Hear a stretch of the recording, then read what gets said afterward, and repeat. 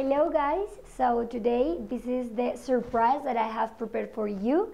It is really different, I know, it is, I know that it is really weird to um, look at me on the TV, but I hope that you try to enjoy this new activity.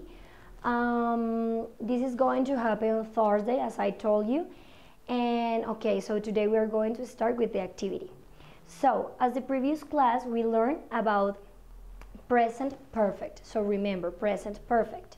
So what are those characteristics? Subject plus um, have or has, depend of depending of it, if it is um, third person or or not. And the verb, the next verb is in, in past participle plus uh, complement. So what it is important to take into account is that maybe in the past participle you can find regular or irregular verbs. So please take into account what we learned yesterday.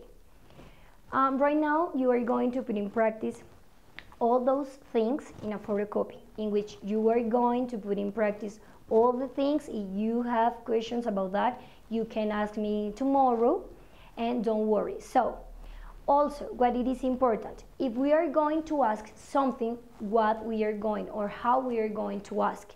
So first, it is the auxiliary have or has plus the pronoun I, you, he, she, it, they, we, as you know, plus the past participle, plus the complement, and the question mark. Remember, it is really important, the question mark.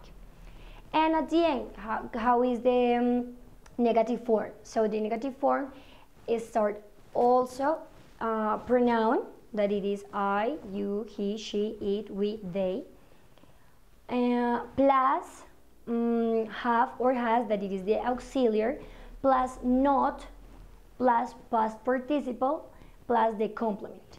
If you want to say hasn't, it is also possible. So remember that it is the short form.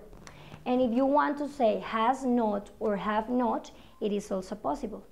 So guys, try to remember what we learned yesterday and I hope that you try to enjoy this new methodology. Love you guys. Kisses.